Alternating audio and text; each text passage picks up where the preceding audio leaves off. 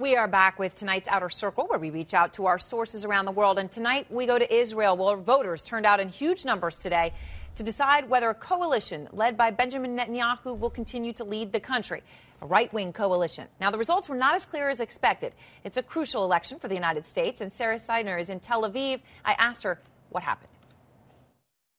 Erin, here in Israel, a clear but slightly wounded winner in the Israeli elections. Prime Minister Benjamin Netanyahu's coalition had expected to get more votes. They did, in fact, win the most number of seats, but not as many seats as they had wanted.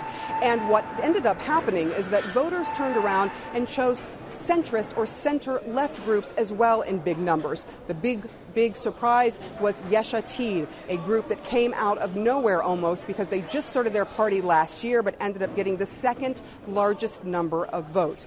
All the polls had predicted that Netanyahu's party would swing farther to the right, and it appears that he is opening up the possible large coalition and including perhaps the left if he can get them to join. So this may have an impact on how the international community sees Israel, have an impact on some of the things that this particular government goes after, such as what they will do with the peace process or what they will do with settlements. But certainly there's going to be a lot of horse trading uh, over the next few weeks. Erin?